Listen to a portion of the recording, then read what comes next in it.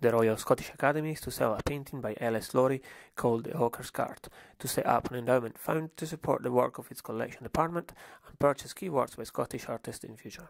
The painting, valued at 300 to 500,000 pounds, will be sold on the 2nd of June 2011 in Edinburgh.